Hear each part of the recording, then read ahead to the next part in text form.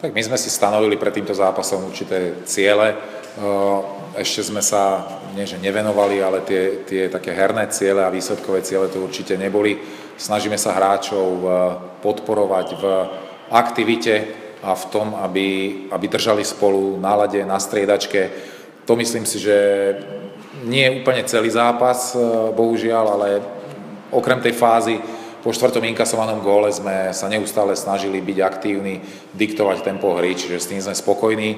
Samozrejme, vidíme, že špeciálne situácie ešte nemáme úplne dobre zvládnuté a tie dneska rozhodli o výsledku.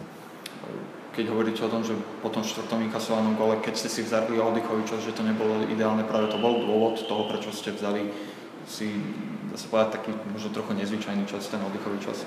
Áno, vnímali sme to, že toto družstvo ešte v tom čase, kedy padol ten štvrtý gól, možno nemá takú vnútornú silu, aby sa nejako samo, samo nabudilo, aby sme si ten oddychový čas, aby som si ho mohol nechať na koniec stretnutia, kedy samozrejme uh, vznikajú ešte situácie, ktoré sa dajú využiť, ale aby sme sa k nejakému dramatickému koncu dostali, tak sme potrebovali uh, zaktívniť svoju hru, byť sebavedomejší, zjednodušiť to, Čiže to boli tie pokyny, ktoré sme cez oddychový čas eh, dali hráčom. Bol to, bol to risk, ale uh, myslím si, že v tom čase nebola iná cesta, ako sa vrátiť do zápasu.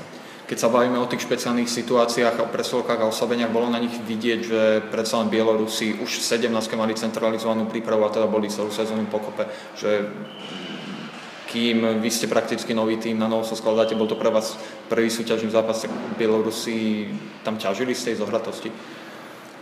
Nepovedal by som, že, že odohrali nejaké, nejaké signály, na ktoré sme neboli pripravení, ale určite bolo vidno, že v tej, v tej presilovej hre 5 na 4 vedia si pripraviť streleckú pozíciu a majú hráčov na miestach, kde sa tie puky odrážajú. Takže v tomto smere boli určite o krok vpredu, ako my. Na druhej strane musím povedať, že naša oslabovka nedokázala na to ešte, ešte kvalitne zareagovať, čiže tam máme čo doháňať a čo sa pripravovať. Verím však, že v priebehu sezóny to vyšperkujeme tak, aby sme aj v tejto činnosti boli, boli konkurencieschopní.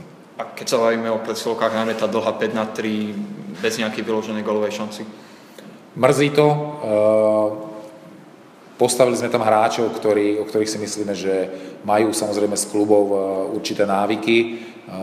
Hráčov, ktorí si myslím, že mali zručnosti na to, aby to aj bez predchádzajúceho veľkého nácviku mohli zohrať. Ehm, chýbal nám tam samozrejme znovu také mm, vyzretejšie e, riešenie najmä tej finálnej prihrávky. Dávali sme tie finálne prihrávky z veľkých vzdialeností od brány, z veľkých vzdialeností od e, bráňaceho hráča, to znamená, tí mali dostatok času sa aj na tie prihrávky pripraviť, presunúť svoj herný tvar, takže v tomto smere určite nemôžeme vysloviť spokojnosť, ale 5 na 3 momentálne nie je situácia, ktorej by sme mohli venovať nejakú veľkú pozornosť. Ako vyriešil tento zápas tie otázniky smerom k nominácii na Ivan Hlinka Memorial Cup?